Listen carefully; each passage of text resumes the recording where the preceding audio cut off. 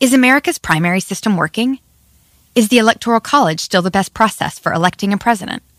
Could a third party candidate ever be successful? In a new season of You Might Be Right, former Tennessee governors Bill Haslam and Phil Bredesen gather the country's top experts to explore these issues and more as we approach the 2024 presidential election. Listen to You Might Be Right, a new podcast from the Baker School at the University of Tennessee, available now wherever you get your podcasts. There's nothing quite like the Honda Accord Hybrid and the CRV Hybrid when it comes to exhilarating efficiency. With hybrid technology and thrilling capability, these vehicles deliver an electrifying performance on every drive. But what truly makes these hybrids special is the unwavering determination that inspires everything we do. Redefine your driving experience with Honda, KBB.com's best value brand of 2023.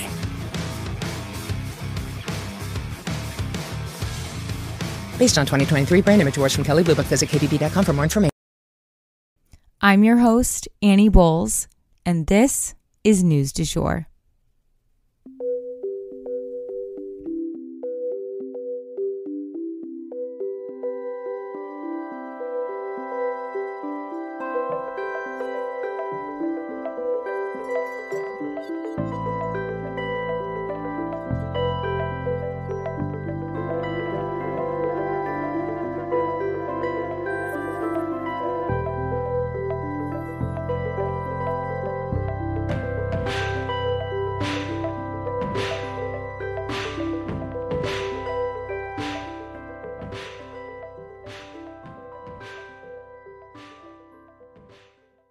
Welcome to News du Jour. You may be wondering why am I, Annie Bowles, here hosting this podcast? I usually start by telling people I'm a political baby. You see, my parents met working on Capitol Hill. By the time I was two, I had been in my first political commercial and even got lost crawling around the West Wing. Don't worry, Al Gore found me. My family then moved abroad when I was nine, and I attended an international school in Brussels with kids from all over the world. And it is this type of global perspective that I also bring to our show. I graduated from American University in DC after studying political science and art history, as well as interning on both sides of Capitol Hill. I even interned down the hall from where my parents met. I'm now pursuing a professional certificate in journalism at NYU in conjunction with Rolling Stone magazine. I guess I was always that friend in the group who cared deeply about not just what was going on politically, but also globally. I often kept my own friends informed through high school and into young adulthood, so I guess I've always done a version of this show. I'm genuinely passionate about following the news, and I'm here to break it down for you guys every weekday. We always strive to be a calmer space to get your news. Or, as one listener put it, like getting your news from a well informed bestie. I'm so glad you're here.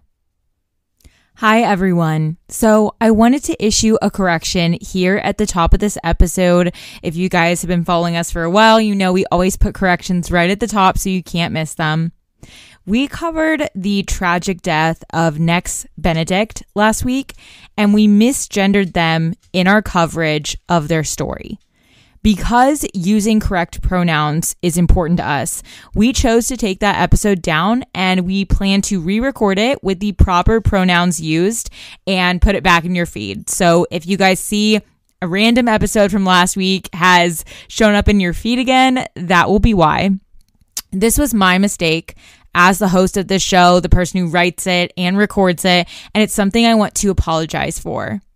Use of pronouns is a way in which we honor each other's identities, so getting Nex's right is the least I can do. I'm so sorry to the family. My heart is with you, and I always have and always will stand for trans safety, celebration, and respect. Again, I just wanted to remind you guys that we do put corrections at the top of the episode if we ever have them, just so that you guys can't miss them. The last thing we'd ever want to do is misrepresent a story or a person. And so we make sure that we get it right as soon as we can. For today's episode, we have three mini stories for you guys. And then honestly, let's see one, two, three four longer stories. It is going to be a packed day of news, and I didn't even get to everything I wanted to touch on. So tomorrow will be packed as well. Let's jump in. So the on-stage Devil Wears Prada reunion really stole the show at the SAG Awards over the weekend, you guys. Apparently, Emily Blunt said Meryl Streep and Miranda Priestly were, quote, sort of like twins, end quote. And when Streep obviously protested, quote, I don't think I'm anything like Miranda Priestly, end quote, Anne Hathaway cut her off and said, no, no, that wasn't a question, end quote, which is obviously one of the movie's many iconic one liners. Love to see it. It was just a fun, playful way to, you know, have fun at these awards. Next up in our mini stories, I want to let you guys know that an owl named Flaco, who had captured many hearts in New York City after being dramatically freed from the zoo, has died. He reportedly crashed into a building on West 89th Street, and he was 13 years old when he passed away. This was something that conservationists at the zoo were obviously really worried about. You see, owls are a lot safer in captivity. But New York's rebel heart was really enjoying seeing the little guy hanging out in Central Park with them rather than trapped at the zoo. And plus, the NYPD was pretty challenged when it came to trying to recapture him. He spent a year on the run, but as the zookeepers had predicted, he died early due to the city's challenges for birds. For our next mini story, unfortunately, the measles outbreak in Florida is growing. Two more children, in addition to the original six, now have the measles. The Florida Surgeon General is leaving it up to parents whether or not they want to send their kids back to school. And that's actually getting him a lot of flack because a lot of people are worried that this will cause further spread of the measles. We'll definitely keep you guys posted. And for our first longer story today, I wanted to let you guys know that Donald Trump beat Nikki Haley in South Carolina. So, Donald Trump beat Nikki Haley in South Carolina in the Republican primaries by a landslide, you guys, which is more than a little embarrassing for Nikki as this is her home state and candidates tend to do better with a home court advantage. Trump won with about 20 points over Haley, too. So, again, not a good look for her going forward. But before this state's election, Nikki vowed to continue the race after South Carolina no matter what happened. So it appears she plans to continue her race, raising her own public platform in the process and raking in all of the non Trump Republican funding that she can find. And there's a lot of it. As we talked about before in this show, Nikki has done really well with fundraising late in the game here, but it's just not showing up in the polls. And unfortunately for her, that's the only place it really counts. Some news outlets have said that this is not a political race, but rather a coronation. And that's definitely how things seem to be shaking out. We'll definitely keep you guys posted. So, next up for today, Wayne LaPierre is found liable for fraud. So, a jury has found former NRA leader Wayne LaPierre liable in a civil case brought against him by none other than Letitia James, the same AG bringing the civil charges against Trump. According to CBS News, the jury deliberated for five days finally agreeing that LaPierre and his co defendants failed to properly perform their duties in good faith. Why? You see, he misused NRA funds on things like chartered private jets for personal use, acceptance of lavish gifts, and more. It all added up to millions in misspent funding, according to the New York Times coverage. They also found that the organization ignored whistleblower complaints, which is against federal guidelines, and a series of other infractions. A judge will determine the sentencing for the defendants, including Wayne LaPierre. But Letitia asked that the defendants be forced to repay the NRA what they had stolen. and then be barred from returning to leadership positions there or at any other nonprofit in the state of New York. We'll definitely keep you guys posted. So, for our next story, we're going to be talking about the aftermath of the Alabama court decision that ruled embryos are children. Let's jump in. So, there's a couple different points to go over here, but I want to start with the fact that more Alabama facilities have paused IVF treatments. This is because they are now suddenly open to new liabilities and they need time to adjust their protocol because keeping embryos fro- frozen forever and ever is really not part of any fertility clinic's game plan nationwide, globally. But for now, in a, Alabama, it has to be in order to avoid further legal action, which unfortunately has been coming out in droves. More lawsuits are now coming out of the woodworks as there has been other incidents in which labs accidentally unintentionally destroyed embryos. And now that the court system has proven in Alabama that that is a wrongful death, couples have been suing fertility clinics left and right. Clinics and couples are also wondering what to do with extra embryos that are not needed.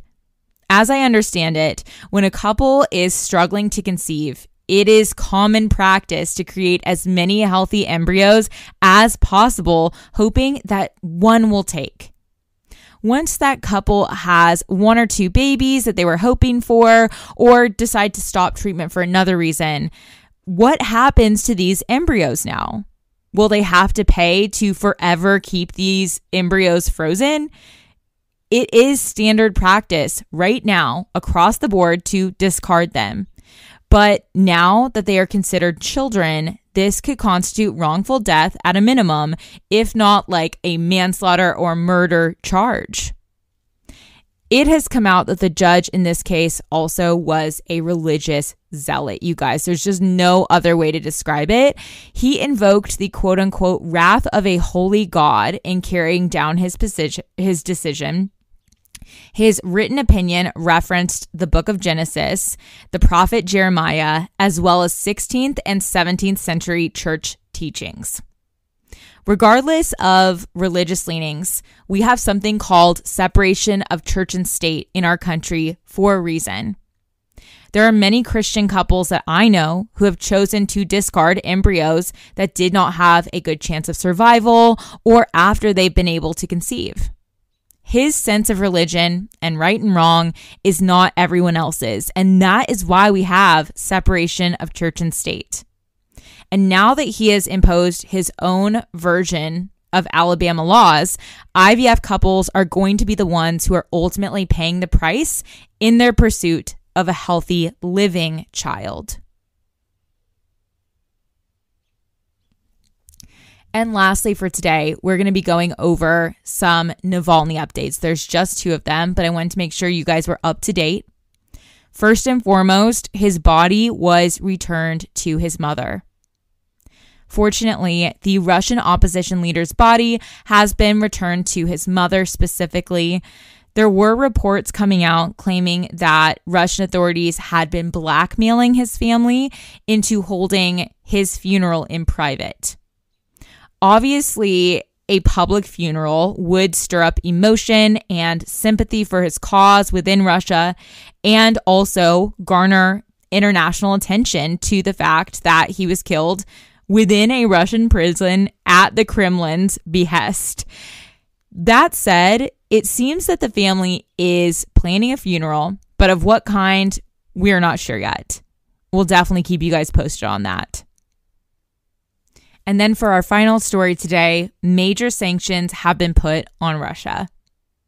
So, the quote unquote major sanctions that the Biden administration has alluded to have been put in place. This is the most extensive round of sanctions to be put on Russia since the war began in Ukraine, according to the New York Times. The sanctions target over 500 individuals and entities that are linked to Russia's attack of Ukraine, including three officials more directly connected to Navalny's death So it's kind of two birds, one stone help Ukraine and make a statement to Putin about his killing of Navalny.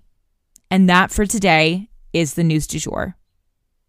Today, I wanted to leave you guys with the quote I found the secret of the sea in a meditation upon a dewdrop.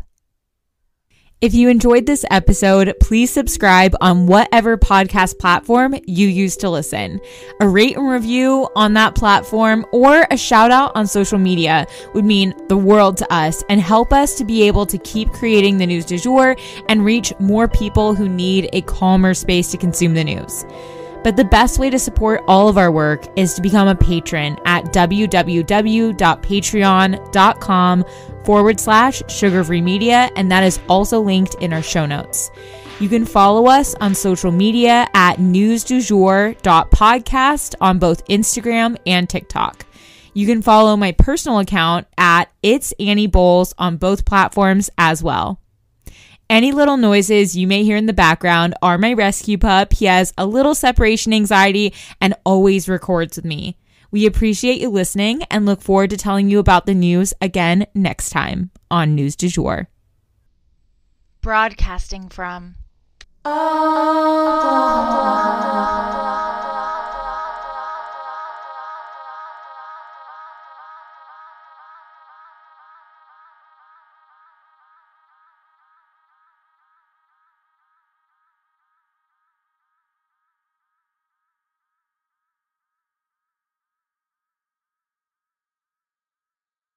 You might be right. It's simple, but something you almost never hear in politics today, with each side more concerned about scoring political points than solving problems. I'm Bill Haslam, a Republican. And I'm Phil Bredesen, a Democrat. We're former Tennessee governors, and we invite you to listen to our podcast, You Might Be Right. Join us and guests like Al Gore, Paul Ryan, Judy Woodruff, as we take on important issues facing our country. Listen and subscribe to You Might Be Right, a new podcast from the Baker School at the University of Tennessee.